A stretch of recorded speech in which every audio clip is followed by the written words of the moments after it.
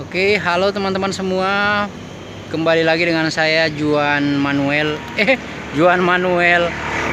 Juan Channel. Belum sarapan kali ya, teman-teman. Di kesempatan kali ini di video kali ini ya, teman-teman, saya ada di Boyolali nih. Boyolali di sirkuit. Biasa ya tempat setiap tahun saya ke sini ya, teman-teman. Pun saya harus ke sini karena uh, untuk start pertama latber latihan bersama. Itu tepatnya di Boyolali Waduk Bade. Berjarak 28 km jarak udara. Itu untuk teman-teman ya teman uh, untuk teman-teman penghobi. Maksudnya yang teman-teman saya satu klub ya. Jadi jaraknya 28 km jarak udara. Kalau untuk saya ya separuh lebih lah masih ada separuh lebih lagi. Ya teman-teman. Nah ini. Ini saya latihan mandiri teman-teman. Untuk latihan mandiri ini hanya tujuh ekor saja. Jadi saya membiasakan ke arah timur ya eh, ke arah barat ya teman-teman.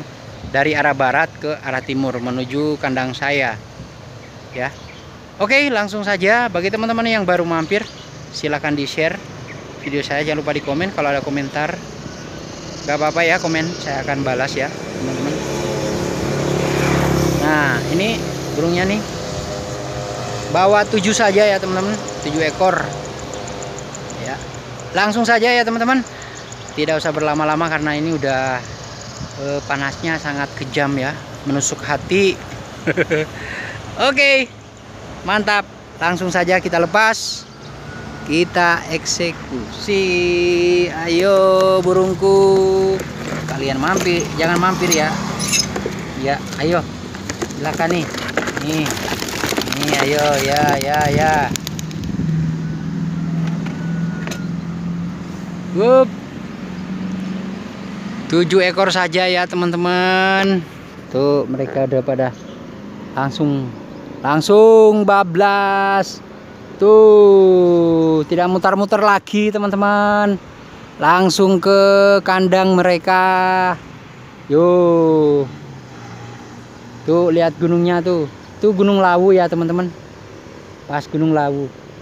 Nah, tuh saya di lerengnya bawahnya ya. Itu biasanya 45 menit ya, teman-teman. Ke rumah saya.